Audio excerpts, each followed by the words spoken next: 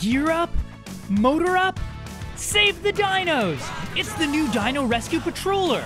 Let's unbox it and see this huge motorized vehicle.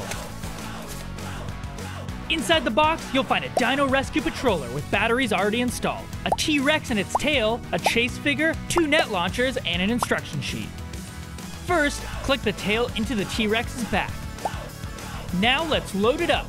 Put Chase in the driver's seat and store one of the net launchers behind him. The Dino Patroller has room for two pups in the front and four in the back, or you can put the T-Rex in the back, or even one of the Dino Deluxe vehicles. Let's get our launcher ready. Push the red button on top of the vehicle, then load in the other net launcher. To fire, push the button on the side of the launcher.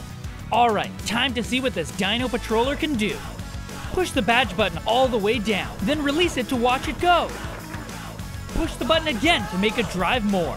The Dino Patroller also has big off-roading wheels that can conquer any terrain, no matter what the Dino Rescue throws your way.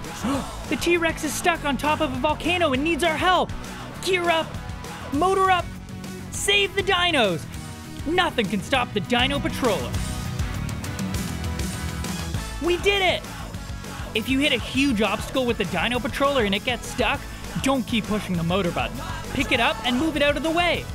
If the Dino Patroller needs new batteries, ask an adult to help. It uses six AA batteries and the battery door is located underneath the vehicle. Okay, now you're ready to conquer any adventure. Little heroes, big dino rescues!